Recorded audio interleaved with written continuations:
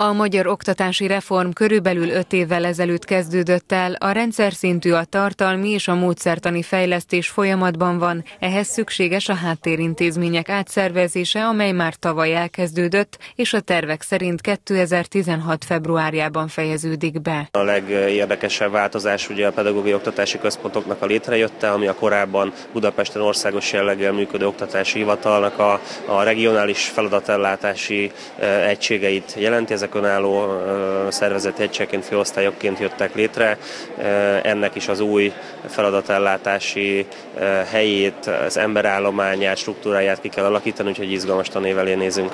A Nyíregyházi konferencián a köznevelési intézményrendszer fejlesztéséért felelős helyettes államtitkár az oktatási rendszer további megújításáról, fejlesztéseiről szólt. Ugyanígy a kliknek a szervezeti átalakítása is ennek a ö, egységnek a része, ami azt jelenti, hogy megyei szintre ö, raknánk le sok feladatot, ami azért fontos, hogy egy kicsit dinamikusabbá tegyük a kliknek a működését, tehát ez egy komoly SMS módosítás jelent, ami jelenleg folyamatban van, és most szeptemberben fog indulni és nyitni.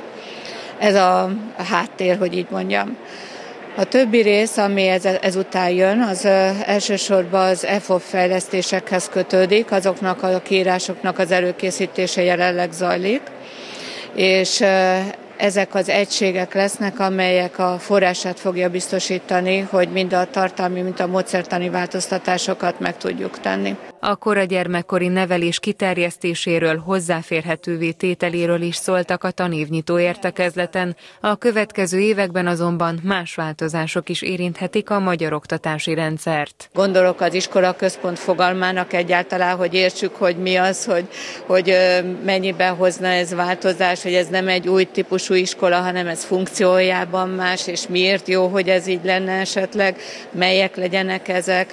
Most a 9 év folyam kell, nem kell, milyen szerkezetű legyen a 9 évfolyam. A helyettes államtitkár úgy véli, az oktatási rendszer változásairól párbeszédet kell folytatni az ágazatban dolgozókkal, ezért is szólnak a tervezetekről, lehetőségekről valamennyi megyei szintű tanévnyitó konferencián.